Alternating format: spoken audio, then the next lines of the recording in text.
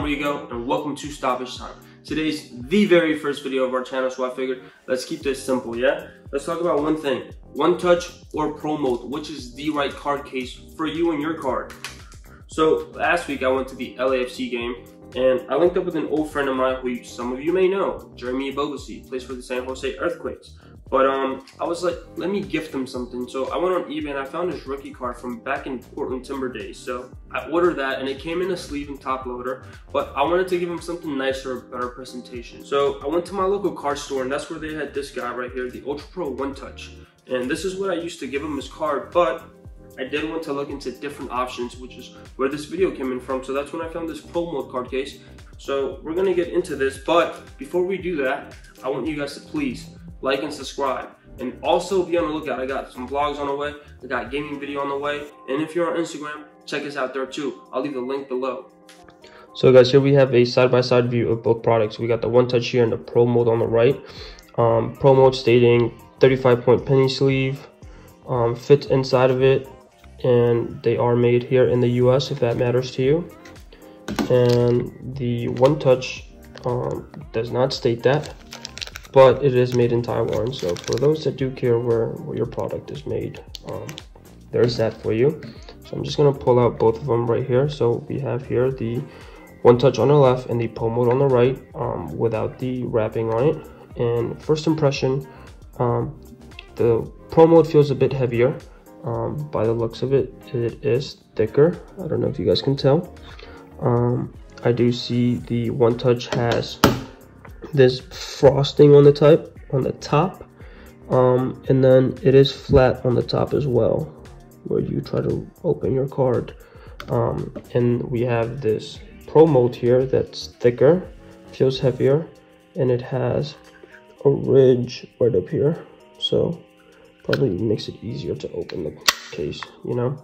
Um, another thing that I will point out is that the pro mold has a stronger magnet to it so if you see it um, probably means keeps your cards a lot more compact in there.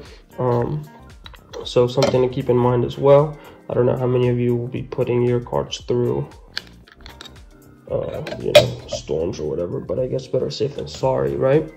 Um, I'm gonna put in this 94 Mia Hamm rookie card in a sleeve here in this pro mold card case and show you guys what that looks like.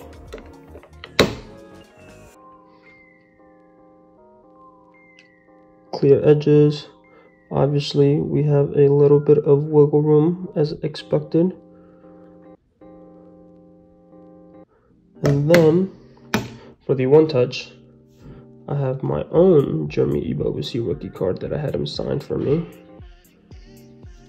And this has, obviously, no sleeve on it as it won't fit.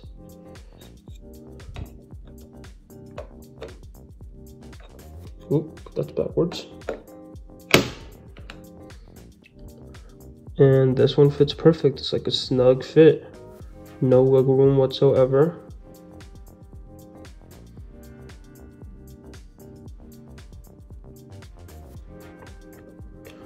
Yeah here's a side-by-side -side view both of them so guys, after looking over both of these, I think it comes down to preference, honestly. Some people may like that this has no wiggle room in comparison to this one having more uh, protection on your card. Other people may like that this is clear all around and other people may like that this has a flat ridge on the top and it's frosty around the corner. Um, one thing to keep in mind though is the budget that you're trying to stay under.